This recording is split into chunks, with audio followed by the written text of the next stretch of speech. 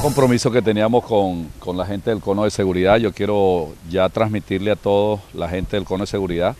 Eh, firmé ya en el registro los primeros pasos para entregarles el título de tierra a las 3.500 familias que viven acá en lo que se denomina cono de seguridad. Una limpieza que estamos haciendo en uno de los sectores de la FENDIO que estaba lleno de escombros, eh, lleno de basura y por supuesto que eso ha generado todo tipo de enfermedades y que han venido reclamando la gente de la FENDIO. Ya hay un compromiso de que la próxima semana le vamos a, fumigar todo el sector, no solamente la FENDIO, sino los diferentes sectores del cono de seguridad.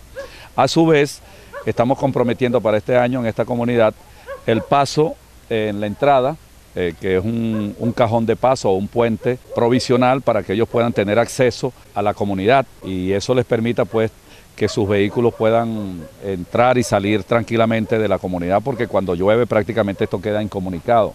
Por el otro lado, eh, la colocación de unos reflectores porque ellos sienten que la zona en la entrada está muy sumamente oscura acordamos colocarle dos reflectores y un proyecto de lo que es la electrificación de este sector, porque ellos, como ustedes se pueden, pueden observar, eh, la colocación de, sus redes eléctricas prácticamente es, eh, es peligroso, tal cual como, como lo tienen.